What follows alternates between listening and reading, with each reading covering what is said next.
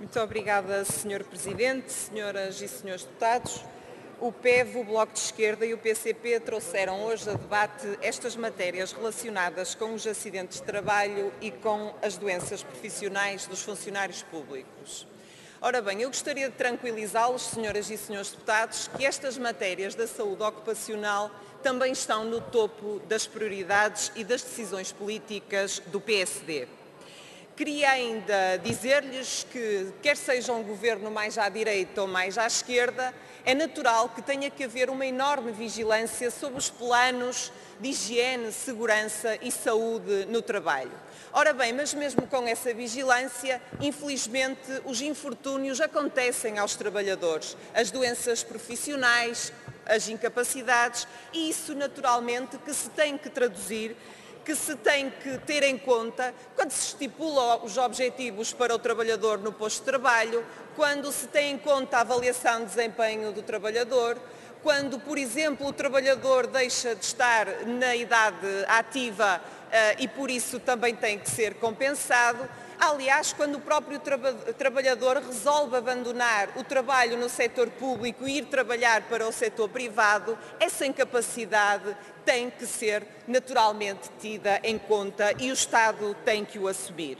Agora, deixa-me-lhes dizer, senhoras e senhores deputados, o PSD não aceita lições de moral de ninguém nesta matéria da proteção social dos trabalhadores. Não aceita lições de moral, não aceita sequer essa palavra muito pouco ajustada a um debate tão sério como este que a senhora deputada Joana Mortágua utilizou, que é o caso do calote.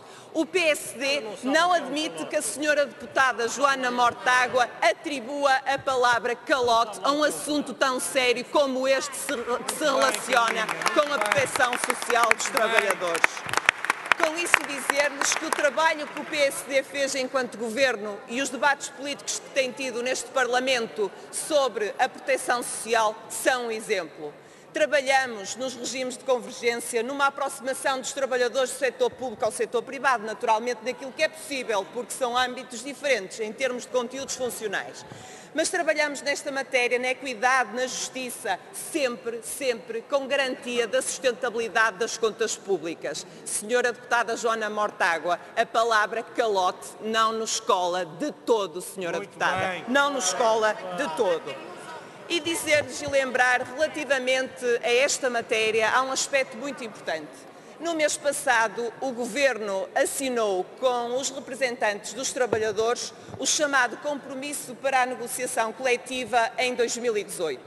E nesta matéria, nesta matéria há lá três tópicos bem evidentes. A saúde ocupacional, os acidentes de trabalho e as incapacidades. Ora bem, aquilo que tem acontecido, é à semelhança daquilo que tem acontecido com outras matérias, nós temos... já ultrapassou o seu tempo. Vou terminar, Sr. Presidente. Aquilo que tem acontecido com outras matérias, temos que valorizar a negociação coletiva, temos que valorizar o diálogo social e, portanto, nós vamos deixar o diálogo social emergir e vamos naturalmente secundarizar as propostas Obrigado, do PEB, do Bloco de Esquerda e do PCP. Mesmo que elas mereçam o acolhimento do Partido Socialista, não vamos abdicar Obrigado. deste princípio fulcral que é o respeito pela negociação coletiva e pelo diálogo social. Muito, Muito obrigada, Sr. Presidente.